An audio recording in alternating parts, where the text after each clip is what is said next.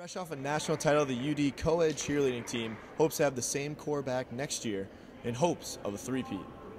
Um, this year at our national championships, uh, we had a lot of returning people, so it was a lot of. It, we were all very comfortable when we got down there. Being a first-year head coach, um, I had a majority of returners on this year's team, so that made things uh, really easy on my end. Um, we honestly had a solid month of really, really good practices, and I think we maybe had one day where we really had a down practice, so it was kind of a really smooth process. So um, when we went down there, it was really kind of just a matter of doing what we'd been doing, and I mean, it went better than I could have planned for. So they did great. They came together as a team. It was awesome. We only lost, um, I think, two people after last year, so it was pretty much the same people out there on the mat with us, which was which was amazing. We all obviously became really close last year, so that just carried over to this year. Um, we found this quote about successful people that they work together, they lift each other up, and we really kind of stuck to that throughout the process.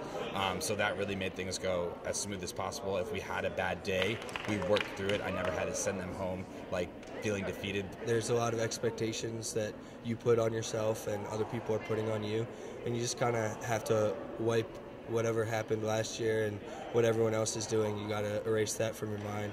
We worked really hard when we were here and before we left, and once we got down there, we were confident in what we were doing, and there were really no doubts when we went out on the mat. We did a lot of team team building and team bonding um, and some mental training. Um, so we, in the beginning of the year, we did um, a True Colors activity. Um, which basically you identify your leadership styles and then you understand each other's different ways of thinking and maybe why a person thinks differently than you do.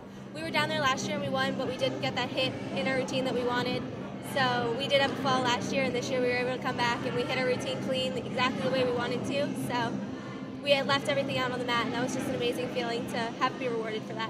We, we stay hungry for the next year, and repeating twice is cool, but repeating three times is way better.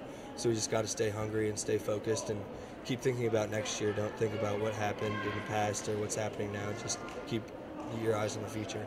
The tricky thing about cheerleading is at the end of the year, everyone tries out. So it's a really good motivator that they don't get complacent. They still have to um, work on their skills, and then we have some some good recruits coming in as well to kind of balance everything out.